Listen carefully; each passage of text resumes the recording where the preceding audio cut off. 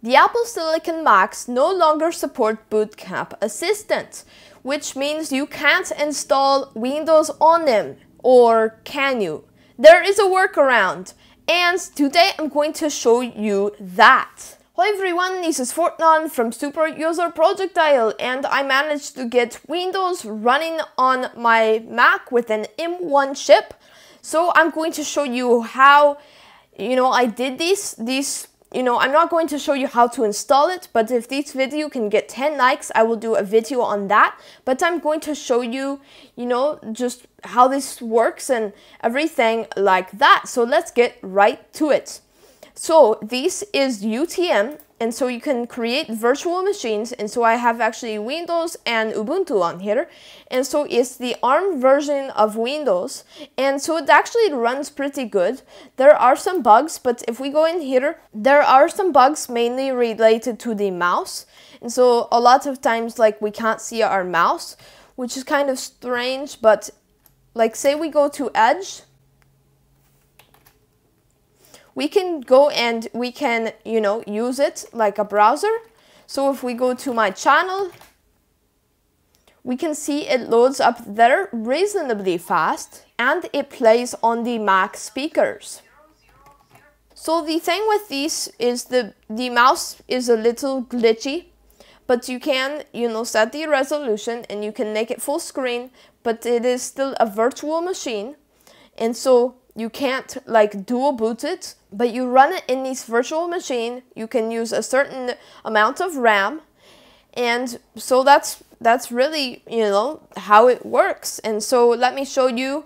So I'm going to shut these down right here. So it boots up very very quick, and of course the SSDs and these Macs are very fast. But when I shut it down here, it's goes like this and then it has a play button when it is fully shut down. Okay, so now we can close this out. And so we also have Ubuntu here, but we have Windows. So if I boot this up right now, it just goes like this. And so I used, you know, uh, installer to get it installed.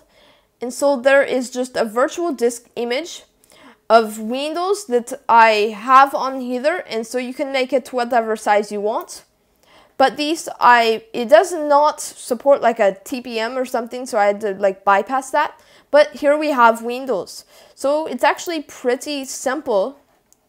But if we capture our mouse cursor, then we can come in here and try to shut these down. So as you can see, it's a little bit glitchy. So I wouldn't actually recommend using this yet anyway but you know it is nice to know that it can be done. Windows 10 might be less buggy but we will check out ubuntu as well because ubuntu is running very well. So if we close out of that and try to start up ubuntu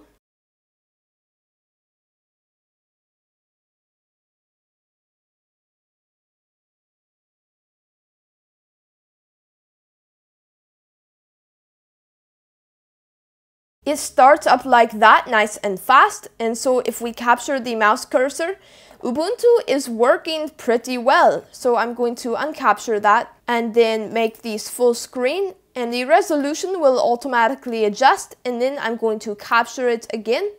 Okay, so we are in Ubuntu right now and so we can see everything is like this except the scrolling is backwards like on the Mac, even though I've set it in the main settings to be the right way, in the virtual machine it's still backwards. Anyway, so let's open up the Firefox web browser.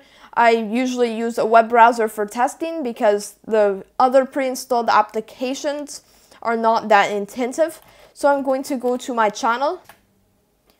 And so it loads up nice and quick right here. And so if we go to my operating system test video, And so I, I don't think that Ubuntu has proper graphics drivers and we may be able to change that.